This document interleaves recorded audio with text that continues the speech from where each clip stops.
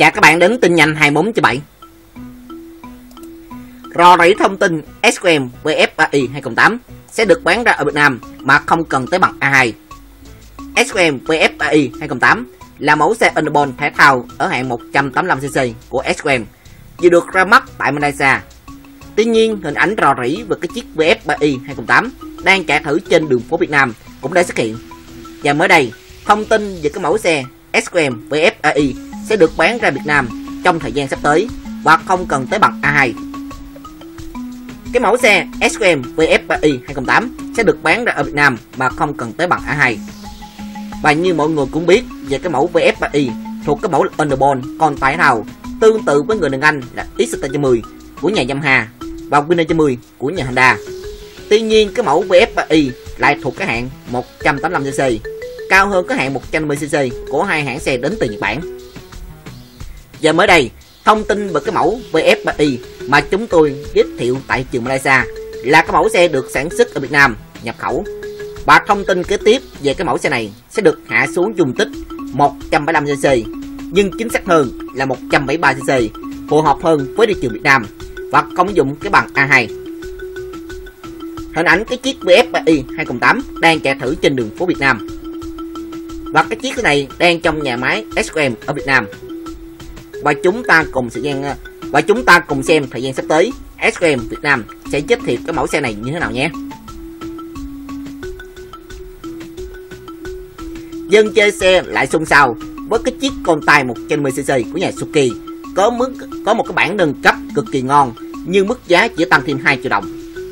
Cái chiếc Suzuki ZX R110 Special Edition phiên bản đặc biệt là một cái dự án hợp tác giữa Suzuki Việt Nam và hãng xe nâng cấp hiệu năng rất cao Yoshimura Nhật Bản.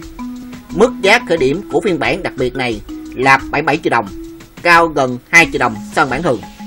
Ngoài ra, Suzuki còn cung cấp thêm tùy chọn một có phụ kiện hiệu năng giúp cho cải thiện thêm khả năng vận hành và ngoại hình của chiếc R150.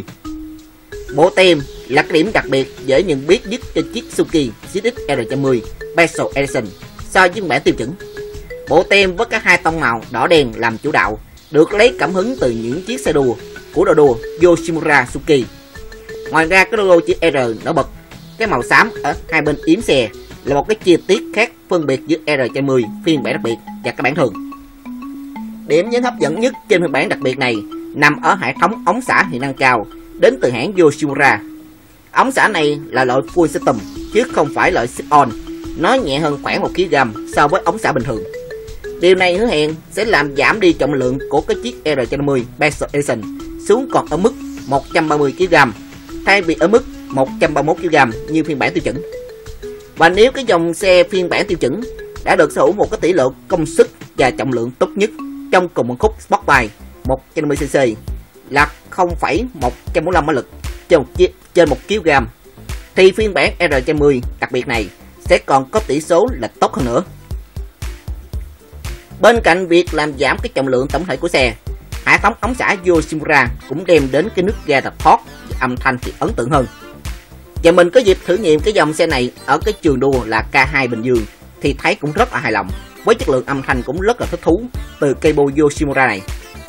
Những hiệu năng thì ống xả full system mới có thể giúp cải thiện được công suất của phiên bản R110 Special Edition hay không thì phải thử nghiệm cái dàn demo trong thời gian sắp tới. Hệ thống ống chả Yoshimura là một trong ba món có phụ kiện hiệu năng cao có giá trị là 12 triệu 100 000 đồng. Ngoài ra cây bộ Yoshimura có phụ kiện này còn thêm cái nắp uh, cái nắp ốp yên sau và các phát biển số thể thao tích hợp đèn xi nhan sau cũng gọn gàng hơn. Nhìn chung là hai cái món đồ chơi này cấu hình làm cho cái chiếc R110 Precision là trông là gọn gàng thể thao hơn. Hướng tới việc chạy trường đua là tốt nhất mà đồng thời cũng đẹp hơn nữa. Còn về sức mạnh, phiên bản Special Edition không có sự khác biệt gì mấy so với phiên bản R110 thường. Phiên bản R110 được trang bị động cơ 110cc DOC một xi lanh là mát dịch. Động cơ này cho ra công suất đa 18,9 mã lực và mô men sát đại 14 Nm hộp số theo xe là sao cấp nhìn chung thì cái chiếc Suzuki ZX R110 là một cái lựa chọn rất hay cho cái việc chạy cái trường đua trong một cúp là sport bike lý do là vì nó sở hữu cái trọng lượng nhẹ tỷ số công suất và trọng lượng cũng tốt nhất trong cùng khúc Xe càng nhẹ thì quán tính thì càng ít. Vào cua thì tự tin hơn. Anh em có thể nâng cấp thêm cái dàn chân, hệ thống treo, và cái bộ ốp mới bám đường tốt hơn. Có thể biến cái chiếc Citic R110 thành cái món vũ khí hạng nhẹ chạy đường trường lý tưởng. Và sau đây là vài thông số kỹ thuật của chiếc Suzuki Citic R110 phiên bản đặc biệt. Động cơ xanh đơn, DOC 4 van, 147,3C là mát dung dịch.